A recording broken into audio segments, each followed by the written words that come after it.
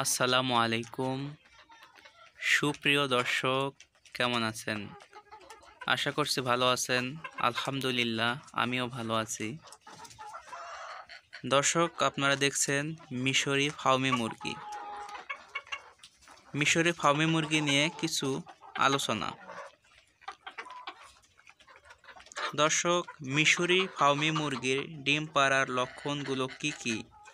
ও কীভাবে আপনি বুঝবেন যে ডিম পাড়ার উপযুক্ত হচ্ছে বা হয়ে গেছে তা আমরা আপনাদের জানাব।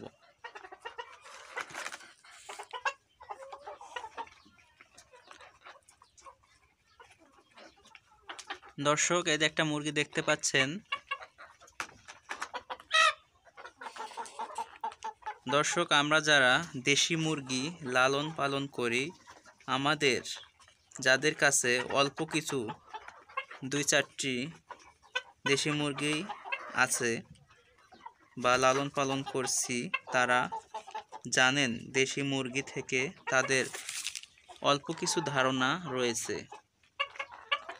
ঠিক তেমনই মিশরি ফার্মি মুরগির ক্ষেত্রে যেমন দেশি মুরগি চার থেকে পাঁচ মাসের মধ্যেই ডিম পাড়া শুরু করে ঠিক তেমনই মিশরি ফার্মি মুরগির লক্ষণ। ডিম পাড়ার চোদ্দ পনেরো দিন আগে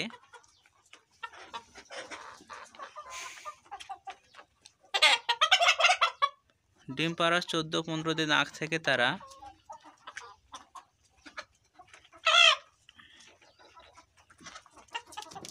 এই দেখতে পাচ্ছেন তাদের এতে ঝুটি বা ফুল।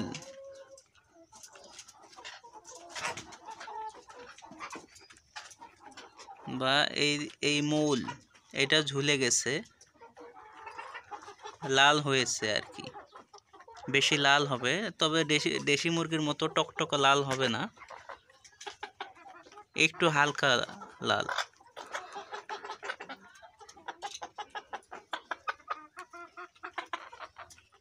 দর্শক, এই এই যে মুরগিগুলো, এই মুরগিগুলো ডিম পাড়া উপযুক্ত হয়েছে।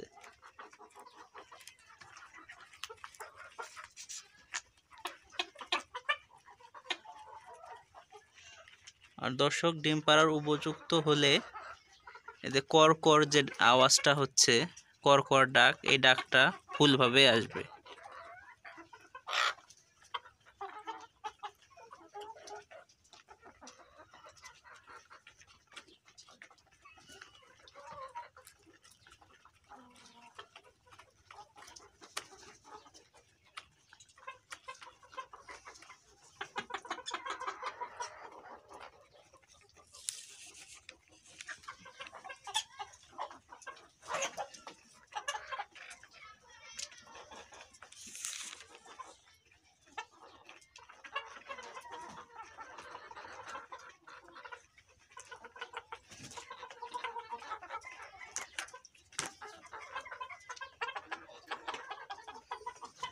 দর্শক, এই মুরগিগুলো আর অল্প কিছুদিনের মধ্যেই ডিম পাড়া শুরু করবে। দর্শক, তাহলে আমরা মোটামুটি ধারণা পেলাম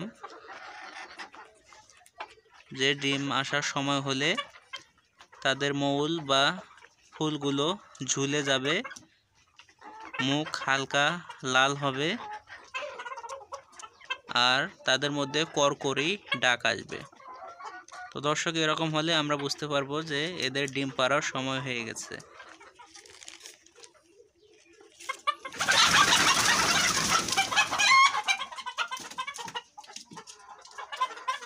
দর্শক, এ পর্যন্তই। ভালো থাকবেন। আসসালামু আলাইকুম আ রহমতুল্লাহ।